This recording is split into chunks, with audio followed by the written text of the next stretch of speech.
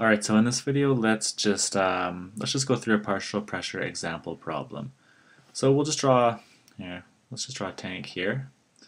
Um, what we're going to do is we're going to take this tank and we're going to fill it with um, some amount of different gases. So first of all, let's just make this look nice. Whoops. Um, what's going on here? Okay, let's erase that and look at that. All right, we got this nice cylindrical tank. So what we want to do here is let's put in, um, let's say this is a 50 liter tank. Okay, it's 50 liter, and let's um, here, let's pump some oxygen in from this side. Okay, we're gonna pump some oxygen in from the side. Let's say we're putting 100 grams in. You know, not very much for a big tank like this, but whatever. And then let's pump in some, let's say CO2 from this side. Okay, and we'll say maybe 200 grams. Still not very much, but you know, we're just going to see what happens in here. We're going to shoot that into the tank this way. And let's say this is, you know, about room temperature, um, about 20 degrees Celsius, um, or in Kelvin. We'll just round to 293 kelvins. Uh, 293 Kelvin. Okay, cool. So what we know now is inside this tank we have 100 grams of oxygen and 200 grams of CO2 floating around, but we want to be able to use our our ideal gas law equation. So what we need here, just write it here, this is PV equals N R T. Okay, so let's look at this. Well, we have our volume. Um, we don't have a pressure. That's what we want to find out actually. Um, we know the gas constant, we know the temperature, and the number of moles can be easily um, converted by using just molar mass equations. So let's get started. Let's say, let's start with oxygen, and let's take 100 grams of oxygen that we know we've put in the tank. 100 grams of, let's just keep this labeled, of oxygen, and we're going to multiply by its molar mass to get rid of grams and switch into moles. So we have, this is over uh, 1 mole of O2 O2, and this molar mass is 32, 32 grams. It's going pretty slow, so of oxygen. And so if we divide 100 by 32, uh, just punch in your calculator, you get, uh, we have 3.125. Remember, grams canceled out, grams canceled out, so we're left with moles of oxygen. Okay, so now let's do the same thing with our carbon dioxide. And here, let's switch colors, keep track. Uh, so we had 200 grams of CO2. And so what we want to do again is we want to switch from grams to moles. So we will multiply it by its molar mass, which is just one mole.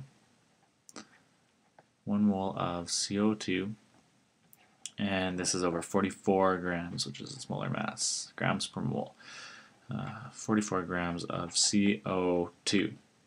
Okay, great. So again, now we just divide 200 by 44 in your calculator, and that will give you it's uh, 4.54.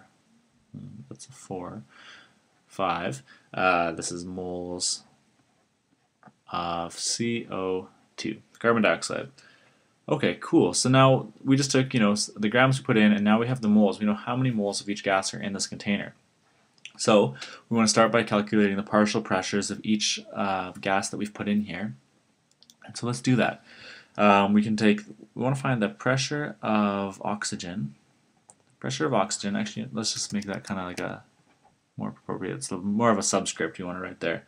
So we're going to rearrange this so we'll have P is equal to N R T over V.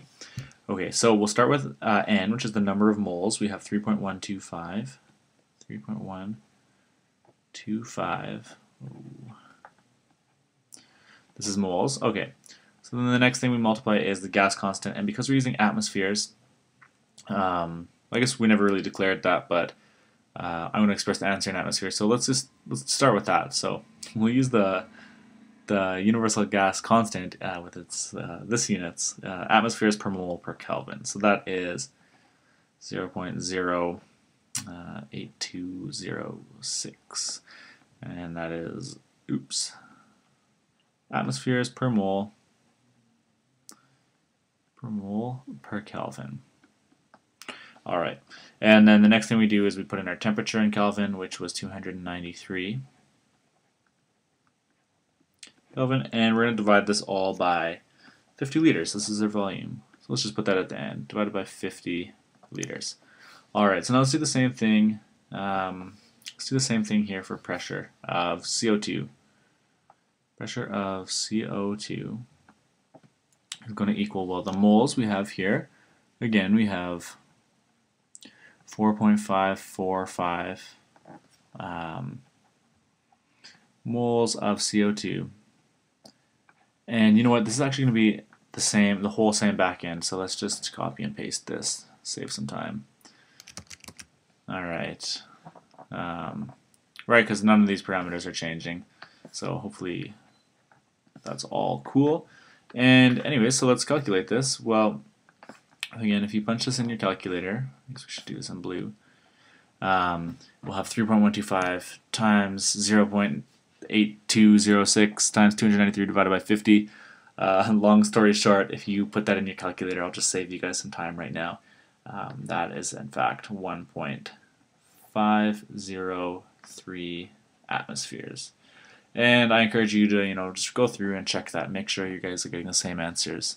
And if you go down here, now we're talking about the pressure, partial pressure of CO2. And this is going to give us, well, all of this when you work it out in your calculator we're going to get 2.186. 186. Uh, and this is atmospheres. And the reason this is atmospheres is because of the units that we chose to work with for the, the universal gas constant. Okay, so now what we need to know is we want to find the total pressure of the gases inside the cylinder.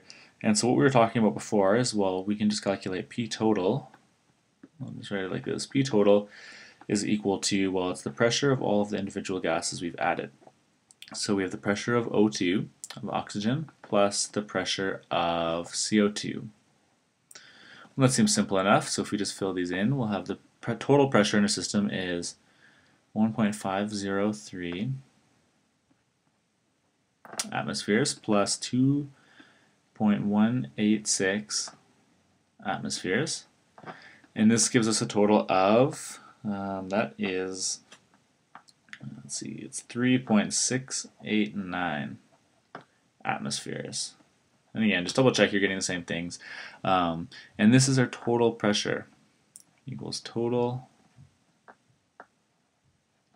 it's going really slow, uh, total P, total pressure. There we go.